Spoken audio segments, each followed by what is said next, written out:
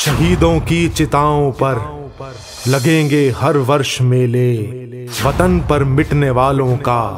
यही बाकी निशान होगा अमर शहीदों की याद में 21 से 23 मार्च 2016 को हरियाणा में देश के सबसे बड़े भारत केसरी दंगल का आयोजन किया जा रहा है फ्री स्टाइल कुश्ती के इस इनामी दंगल में विजेता पहलवान को मिलेगा एक करोड़ रुपए का इनाम उप विजेता को मिलेगा पचास लाख का इनाम और तीसरे स्थान पर रहने वाले पहलवान को मिलेगा पच्चीस लाख रूपए का इनाम हरियाणा सरकार द्वारा आयोजित किए जाने वाले इस तीन दिवसीय इनामी दंगल का शुभारम्भ इक्कीस मार्च मार्च को हरियाणा के माननीय राज्यपाल श्री कप्तान सिंह सोलंकी करेंगे और 23 मार्च को शहीदी दिवस पर पुरस्कार वितरण करेंगे माननीय मुख्यमंत्री श्री मनोहर लाल और दोनों कार्यक्रमों की अध्यक्षता करेंगे खेल मंत्री श्री अनिल विज ताऊ देवीलाल स्टेडियम गुड़गांव हरियाणा में शाम चार से नौ बजे तक होने वाले इस दंगल में आप सभी आमंत्रित हैं